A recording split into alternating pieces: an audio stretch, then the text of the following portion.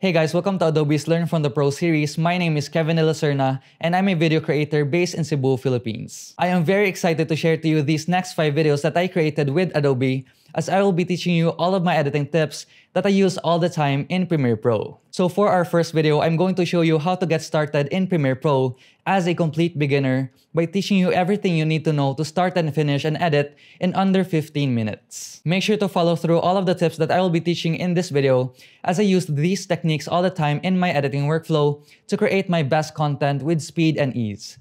And without wasting any more time, let's go to Premiere Pro and let's start editing. So first thing that we have to do is we have to create a new project in Premiere Pro. Now in order for us to create a new project, all we have to do is to click the new project button. Let's name the project to video commercial tutorial. Then browse for your video assets folder. Then just click one video. Then press Ctrl plus A on your keyboard to select all of the videos.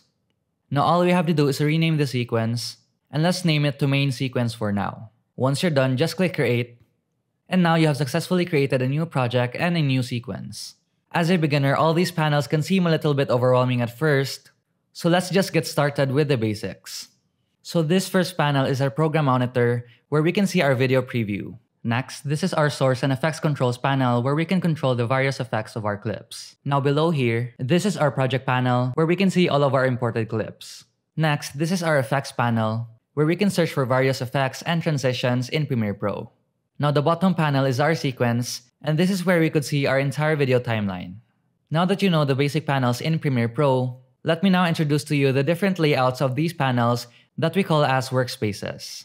Now to see the various workspaces in Premiere Pro, all you have to do is to click this icon, and now we can see all of the default workspaces in Premiere Pro, like learning, assembly, editing, color, effects, and many more. Now considering that our video is vertical, let's select the vertical workspace, and as you can see, Premiere Pro automatically changed the layout of the panels to a vertical workspace. Now that you know how workspaces work, let's now focus on our video timeline. Now the video timeline is basically where you can find all of your imported clips, and if you want to zoom in or zoom out in this timeline, all you have to do is to click and drag the horizontal scroll at the bottom. Now another way to zoom in and out of your timeline is to press on the plus or minus key on your keyboard. To zoom in, you can press the plus key on your keyboard multiple times. And now to zoom out, you can also press the minus key on your keyboard multiple times. This is a quick and easy shortcut so keep this in mind as you will use this shortcut all the time. Now that you know how the video timeline works, it's now time to start editing our clips. Now all of these footages in my video timeline are just raw clips from a recent product commercial that I shot in my studio. So what I usually do to start off my edit is to delete all of the unusable clips. And in order for us to do that, all we have to do is to scan through our video timeline using the playhead and once I see a clip that is not usable, all we have to do is to click on the clip, then press delete on your keyboard. Now I just do the same method for the rest of my clips, and this is just a way for me to stay organized by deleting all of the unusable clips right away. This simple method just ensures that our video timeline is free from clutter, so we could have a more efficient editing workflow. Now that we're done deleting all of the unusable clips, let me now introduce to you a command that I use all the time and it's called ripple delete. As you guys can see, after deleting all of our unusable clips, we now have blank spaces in our video timeline. Now instead of manually moving each clip to the left, all we have to do is to right click on the blank space, then press ripple delete. Now what ripple delete basically does is it deletes the blank space in our video timeline, as well as automatically shifting all of the clips to the left. Ripple deleting has to be one of my most used commands in my editing workflow, so make sure to remember this command and implement it to your editing workflow as well. Now instead of ripple deleting all of the gaps one by one, an easy way for us to clear all of the gaps is to go to sequence, then select close gaps. And as you can see, all of the gaps are now cleared. Now that we know how ripple delete and close gap works, we are now left with all of the clips that we're going to be using in our edit.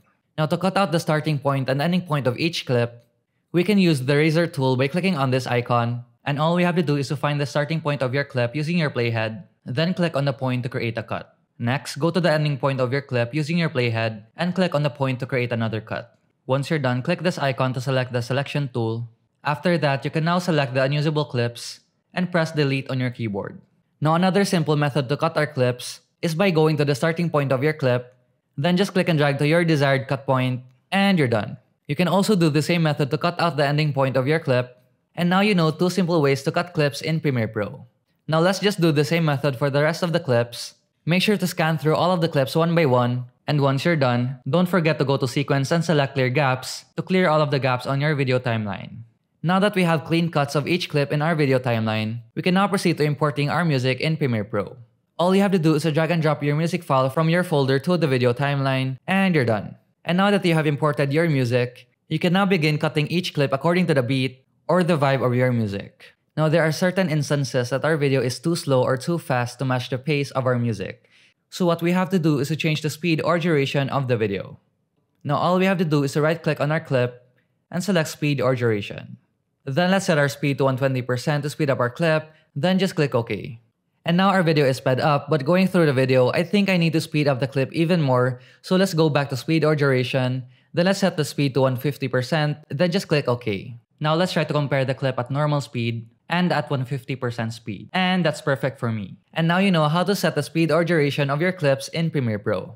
Now another useful effect in Premiere Pro that I use all the time is Warp Stabilizer. Now considering that this commercial is shot handheld, it is definitely inevitable to have shaky footage. Now in order for us to fix shaky footages in Premiere Pro, all we have to do is to go to our effects panel, then search for Warp Stabilizer. Once you're done, just drag and drop Warp Stabilizer to the clip that you need to fix, and now Premiere Pro will automatically detect, analyze, and stabilize your footage. And we're done.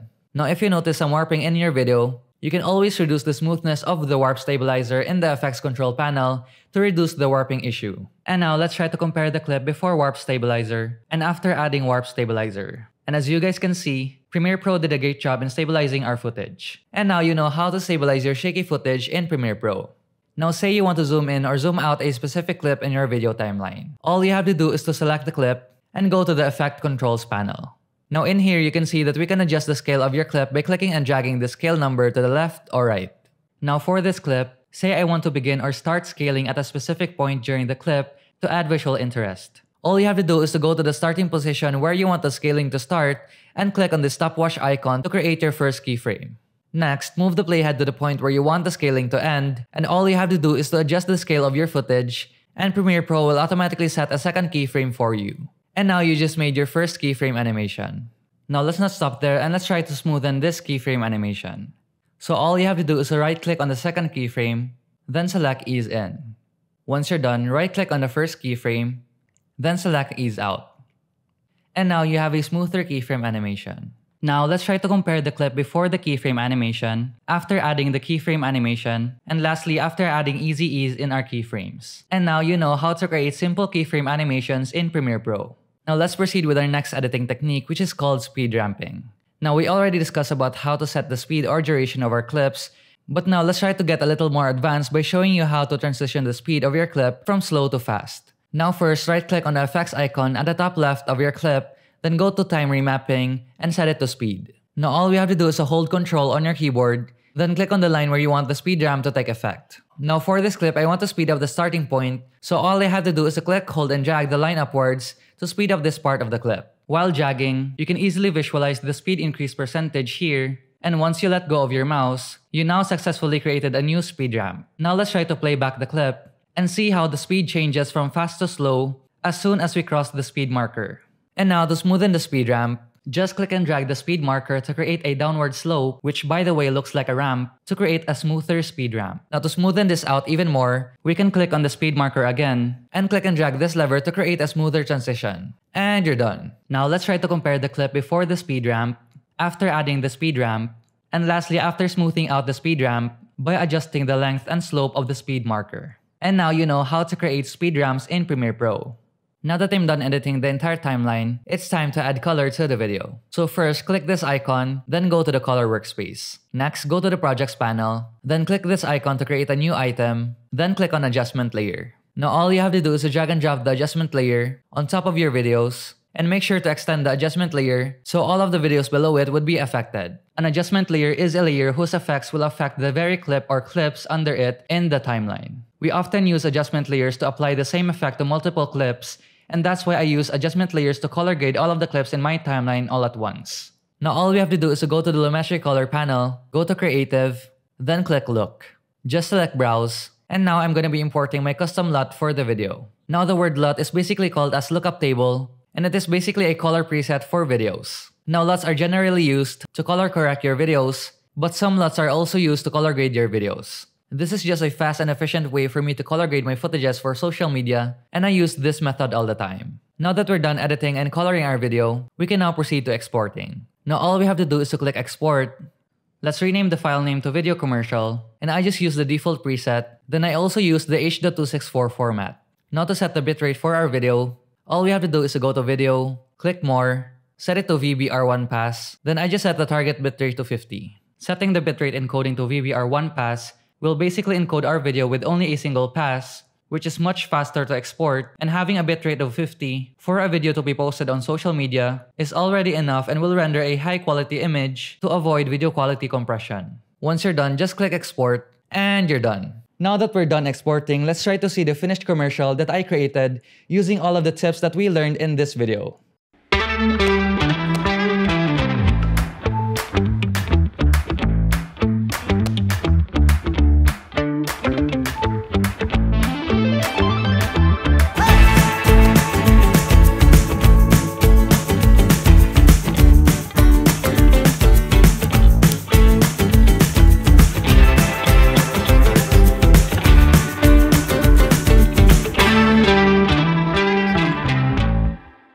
And that wraps up our first video in this series. If you made it till the end of this video, comment down below your favorite tip and make sure to drop a like in this video if you enjoyed it. Stay tuned for our next episode as I will be teaching you all of my favorite quick and easy shortcuts to make your editing faster in Premiere Pro. Don't forget to create more and I'll see you in the next one. Paalam!